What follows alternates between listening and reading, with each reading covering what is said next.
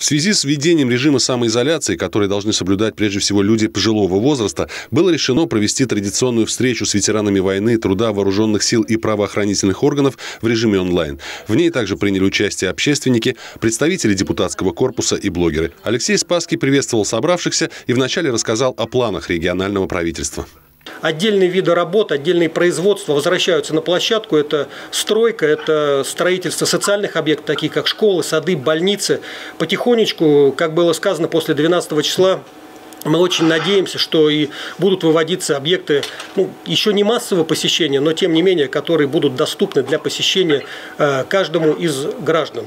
Председатель Совета ветеранов Ленинского городского округа Сергей Байков рассказал о работе, которая была проделана в преддверии празднования Дня Победы. Мы восстановили а, четыре фамилии потерянных героев, так называемых, которых забыли на постаменте, забыли в книге памяти, разместили памятные таблички в селе Остров и а, в Горках Ленинских и провели большую работу вот по восстановлению памяти о наших героях.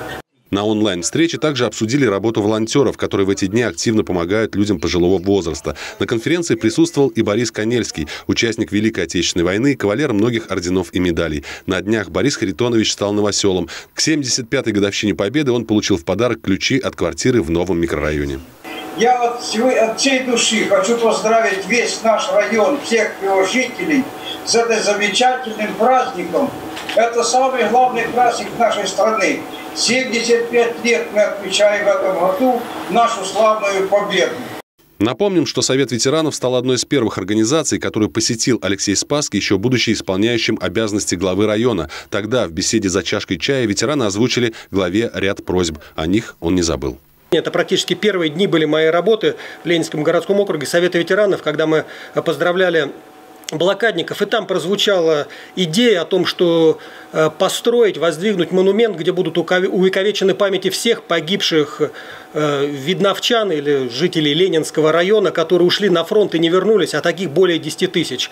Я даю вам обещание о том, что буквально сегодня дам такое поручение, чтобы буквально, может быть, через две недели уже какие-то проектные эскизы были предоставлены Совет ветеранов на рассмотрение. Закончилась встреча совместным исполнением одной из самых известных песен о Дне Победы победы.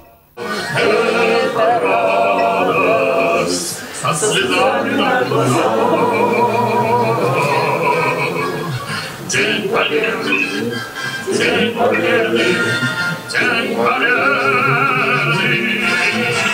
Максим Козлов, Константин Брылов, Ольга Садовская. Видное ТВ.